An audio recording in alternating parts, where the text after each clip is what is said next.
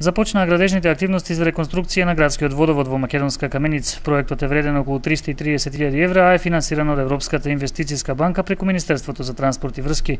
За градоначалникот на Македонска Каменица Дарко Митевски промената беше неминовна, бидејќи постоечката мрежа освен што е стара 40 години, во прашање ја доведува и здравствената безбедност на граѓаните, за разлика од новите полиетиленски материјали за новиот водовод, кои се потполно здравствено безбедни за популацијата и со поголем век на траење. Во тек се градежните активности за реализација на проектот за реконструкција на градската секундарна водоводна мрежа. Овој проект опфаќа промена на веќе дотраените и подложни на оштетување азбезно-цементни цевки, со нови водоводни цевки кои су се изработени од полиетиленски материјали. Проектот за реконструкција на водоводната мрежа е прва реконструкција во последните 40 години и вреден 330.000 евра, а средствата се обезбедени од Европската инвестициона банка преку Министерството за транспорт и врски.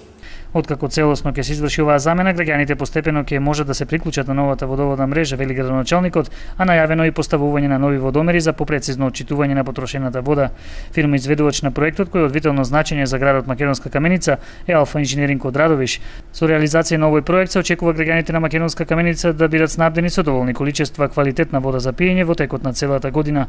Се очекува оваа реконструкција да трае до крајот на оваа година.